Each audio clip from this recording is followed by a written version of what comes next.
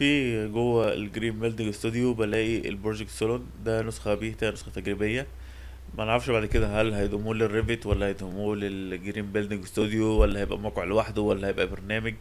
هما لسه مقرروش فأقول له Project Solon بيلاقي مقسمهم لي حاجتين لا إما dashboard لا إما widget بلاقي هنا في ال dashboard energy cost range energy cost range dashboard energy cost factor أي واحد فيهم بضغط عليها بدخل بقى في ال dashboard بيديني تحليل ال ال ال السير العملية هيبقى عامل إزاي lighting efficiency plug load efficiency window glass أقدر أضيف أي حاجة من widget أقول مثلا أنا عايز أشوف ال annual wind rose مثلا نشوف قناة فاضية مثلا. هنا مثلا أهي. فيبدأ يعمل لي تحليل للرياح هتبقى عاملة إزاي في المنطقة؟ وسرعتها هتبقى عاملة إزاي؟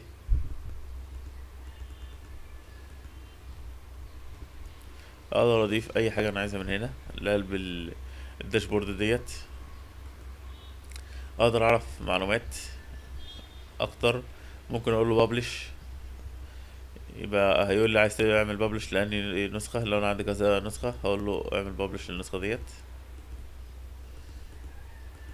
publish وبعد كده أقدر أستفيد منها إن أنا أقول له assign to application وأقول له خلالي في ال Revit و format بستخدمه بعد كده من داخل ال Revit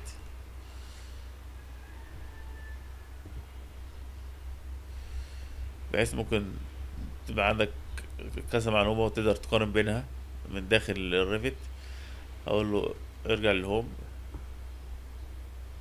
نجرب ال widget أقول له مثلا أنا عايز ال HVAC فهو بيجيب لي عرض للتكييف بالشكل دوت.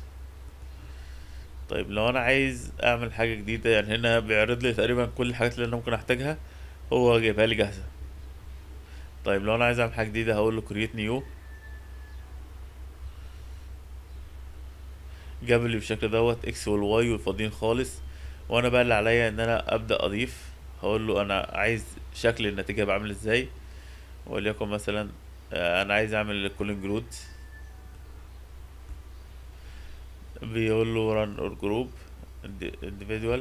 طيب عايز تحسب ال total ولا الأول ولا ال equipment في حاجات تنفع تعلم عليهم مع بعض وفي حاجات لأ يعني مش هينفع تحسب ال total وتقول له أنا عايز مع ال total ده ال equipment تقدر تحسب ال equipment مثلا مع ال lighting أو مع ال window solar مثلا. طيب أنت عايز تحسب لل building وعايز تحسب annual ولا بالشهر. دلوقتي ممكن أسحب مثلا دوت ده يبقى ال... الوقت وال load دوت هو اللي هيبقى هنا. فهيبدأ يرسم لي الخريطة بالشكل دوت. أقدر أقول له من هنا أنا عايز أغير شكل ال type وليكن مثلا أنا عايزه على شكل جدول.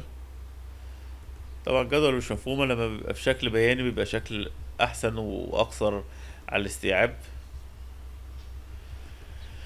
ممكن أقول له من هنا أنا عايز أعمل preview للحاجة وممكن تعمل publish ليه أو test environment